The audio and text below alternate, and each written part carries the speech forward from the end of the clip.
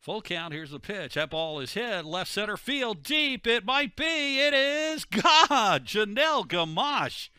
She takes it out to left center field, and the Seahawks take a three to nothing lead.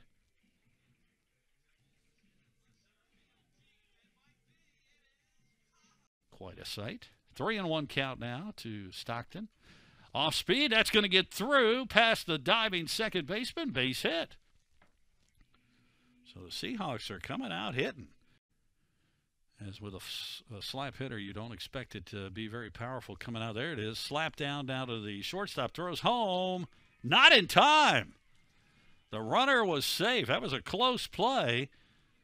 But the runner Stockton scores, so Bizzle will get the hit. And the Seahawks now lead four to nothing. Game up there today. It's a doubleheader for baseball.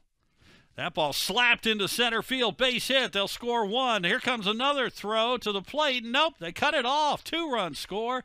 It is 7 nothing UNCW. Hessenthaler drives home two. She's two for two.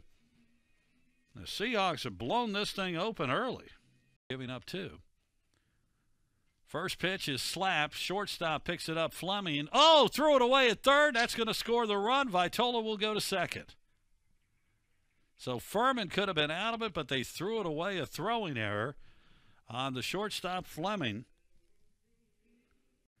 Count now one and two. Here's the pitch, and that ball is a base hit. Got between the third baseman and shortstop for Taylor Smith.